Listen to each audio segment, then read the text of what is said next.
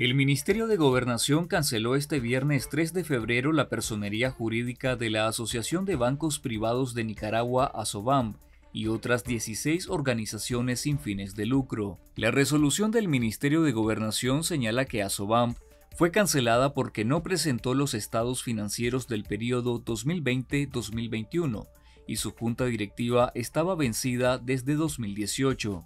Asubam se define en su página web como una organización civil apolítica sin fines de lucro, que agrupa a todos los bancos del sector privado de Nicaragua y que facilita el intercambio de ideas y experiencias de interés común. El último presidente de Asobam fue Juan Carlos Argüello Robelo, gerente del Banco de la Producción Banpro. La vicepresidencia la ocupó Juan Carlos Sansón Caldera, del Banco de América Central BAC, y el tesorero era Marco Antonio López, del Banco Ficosa. Entre las demás ONGs canceladas están la Asociación Nicaragüense de Abogados y Notarios, Asociación de Comerciantes del Mercado Central y la Asociación de Desmovilizados del Servicio Militar Patriótico de Nicaragua, Esperanza y Reconciliación.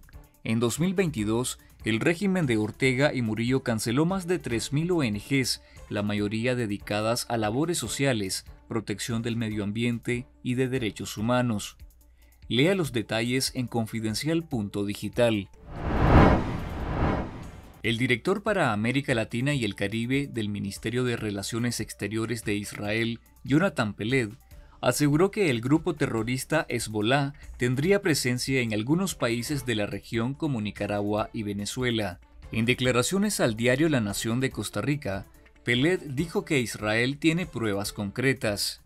La aseveración del funcionario israelí ocurre tras la visita de una delegación de la República Islámica de Irán, presidida por el canciller de ese país a Nicaragua, donde sostuvieron encuentros con Daniel Ortega y otros funcionarios públicos.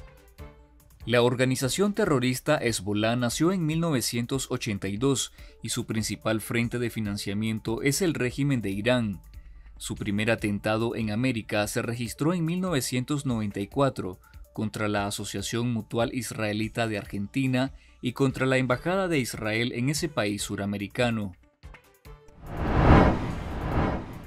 La dictadura de Daniel Ortega y Rosario Murillo planteó convertir a Nicaragua en una plataforma de Irán en Centroamérica, durante una visita esta semana del canciller de ese país, Hussein Amir Abdaloyan, en que predominaron las promesas y una intensa retórica antiestadounidense.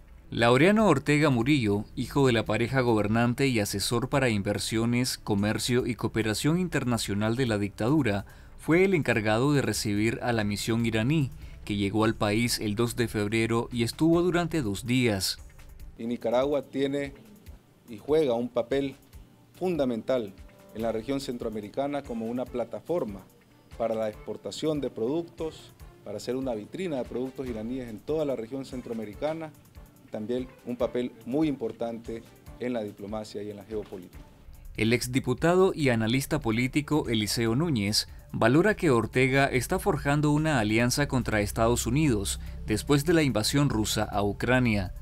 Además, agrega que la ganancia de Ortega al acercarse a Irán es que ese país ha sido sancionado desde los años 80 por la comunidad internacional y esto significa que ellos conocen cómo evadir las sanciones. Lea los detalles en confidencial.digital. El régimen de Daniel Ortega y Rosario Murillo proyecta la llegada de 1.82 millones de turistas para este año, pese a que entre 2018 y 2022 recibió un promedio de 475 mil turistas anuales y mantiene en el país un estado policial de facto. Emprendedores turísticos y economistas cuestionan el exagerado optimismo de las proyecciones oficiales y reclaman inversión para pequeños negocios asfixiados ante la caída del sector. Claudia, responsable de una reserva privada en el país, asegura que sobre Nicaragua persiste el temor y testimonios negativos de visitantes ante las violaciones a los derechos humanos, la inseguridad física y restricciones derivadas del Estado policial de facto. Lea la historia completa en confidencial.digital.